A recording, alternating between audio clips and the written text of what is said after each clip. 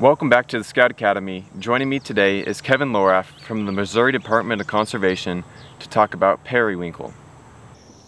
Well, good morning. I'm here with another invasive plant here at Runge Nature Center, and this plant is called periwinkle.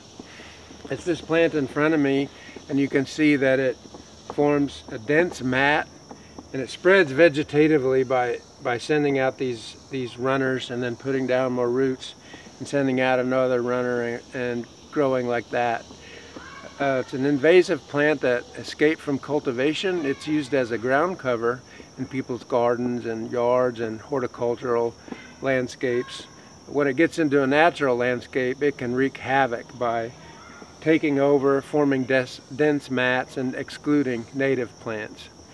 Another native plant that looks a lot like periwinkle is winter creeper. And it, you can see if I put them right next to each other, it's real hard to tell apart. But if you look and uh, take a close look, you'll see that winter creeper has more strong, strongly, uh, you can see the veins a lot more and the edges of the leaf are serrated like a saw edge. Winter creeper also is escaped from cultivation. Uh, it, it, also forms dense mats like this, um, but it's more likely to climb trees. The flowers of winter creeper are very small, white, and the flowers of periwinkle are blue and a little more showy.